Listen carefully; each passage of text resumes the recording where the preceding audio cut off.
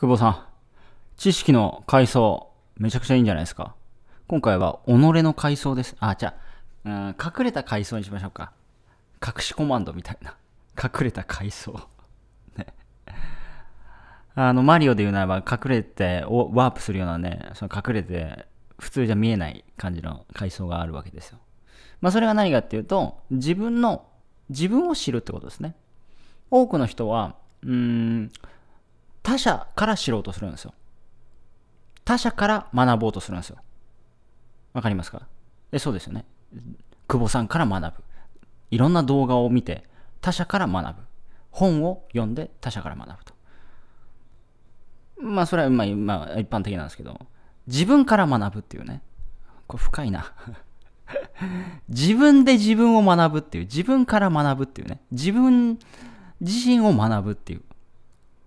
これ、深すぎるんで隠れコマンドすね、本当に。だってそうじゃないですか。自分から学ぶってことはあんまなくないですか？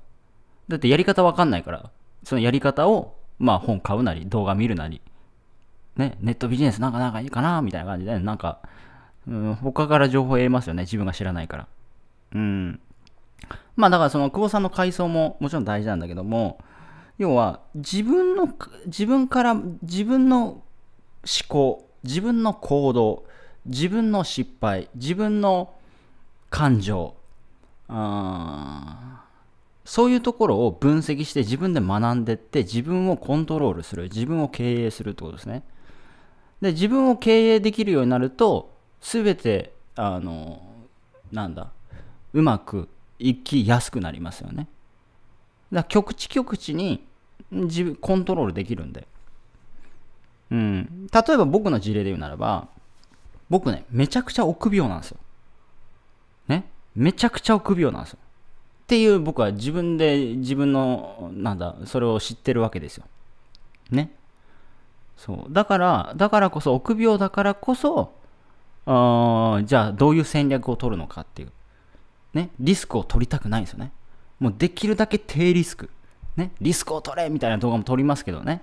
リスクがあるからリターンがあるみたいなね、動画撮ったりとかしますけど、実は自分が一番リスク取りたくないみたいなね。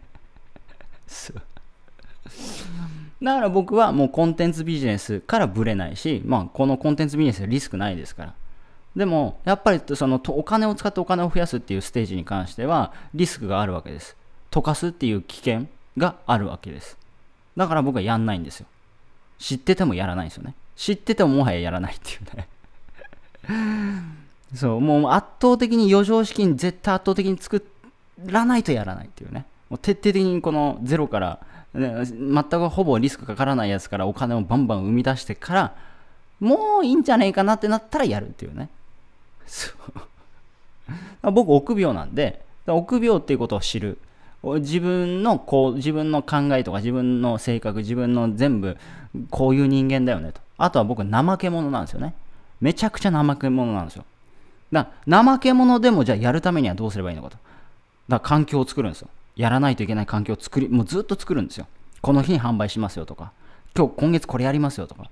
もうとにかくコミットして、やら、お首、あの怠け者だから怠け者でも行動するための環境を作るってことですね。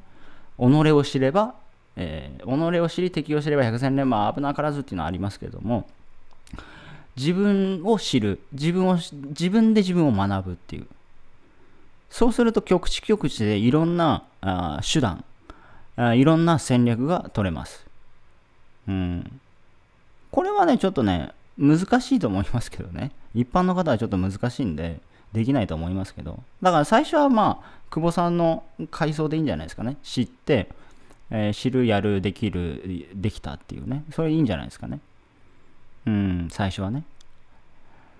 だけどもっと究極言うと自分、だからまあ久保さんの言葉で言うなら内から出るものですね。うん、自分に自分の内にあるものって何なんだろう。自分の内、じゃあ悪魔の内があるならそこから何を学ぶのかとか、その自分の行動修正、自分はどうなのかと、それを分析すると。じゃあそこに対して自分がこうしたいんだったら、じゃあこういう修正があるから、じゃあこういう手段取れるよねと、こういう戦略取れるよねっていう、わかります？じゃあこういう感情にならないために僕こういうことを言われるとこうなるからこうじゃあこういうふうにならないためにこうすればいいよねとかね、うん、だそうそうすると常にそのフラット、うん、そのできるだけフラットで入れる。